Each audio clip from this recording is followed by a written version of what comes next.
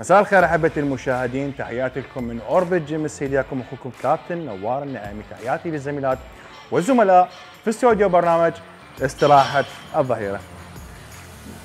أكو سؤال دائما يتردد من قبل اللاعبين وأكو سوء فهم هذا الموضوع، الموضوع هو هل عضلة ال traps أو المثلث مثل ما نسميها العراقيين ما أعرف إحنا مثلث نسميها هل هي محسوبة الظهر أم الكتف؟ الجواب صعب لكن بصورة عامة كعلم التشريح هي محسوبة على الظهر لكن إحنا ناخذها بيوم الكتف هذه العضلة مهمة حلوة ممتازة لكن بنفس الوقت تمرينها جدا نحس. أغلب العضلات تمارينها تحتاج تفكير وتكنيك. الموضوع اختلف مو مثل قبل. قبل كانوا يطبون وزن اوزان صياح عياط.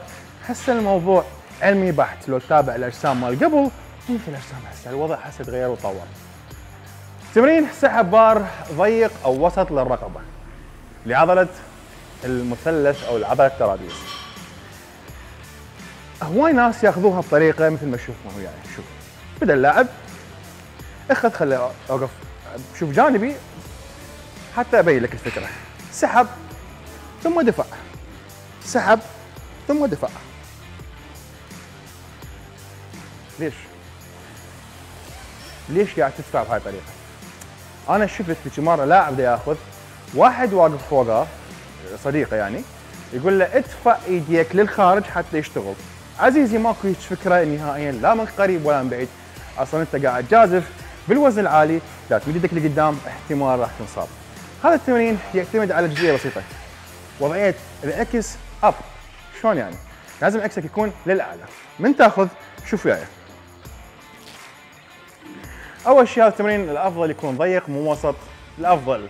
لكن حسب رؤية المدرب. من تاخذ بهاي الطريقة؟ شوف وياي تصعد للحنك منطقة الحنك ثم تنزل. ممتاز.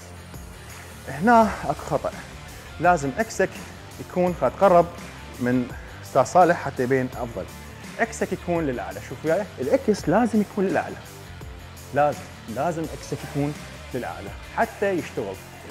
هاي ابدا مو فعالة ولا ولا تشتغل. عكسك خليه عالي. يعني عكس خلي ابين لك اياه بدون لأن هذا ياخذ اذني عكسك لازم يكون بهاي الطريقة. أعلى. حاول تسوي squeeze على هاي العضلة من تأخذ. خلينا نبدي وياه. ضيق. واحد. اثنين. ثلاثة. أربعة. ممتاز.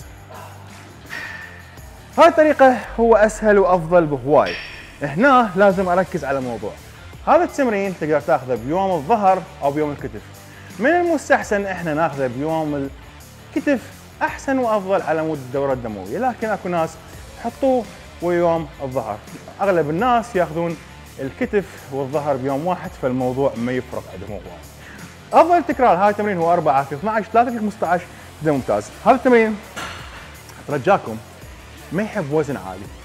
بيه تكرارات تقدر تاخذه عريض فوق الرأس تقدر تاخذه نص وايد. لكن الأفضل للمبتدئين هو مثل ما شرحته. جربوا طبقوا تمرين جدا ممتاز تقدر تدخل وياه فراشه عكسي فتح دمبلاس عكسي. كيفك؟ لكن التزم تعليمات المدرب. إن شاء الله ما طولنا عليكم. تحياتي لكم. ثقه لزملاء الزملاء في استوديو برنامج الصحه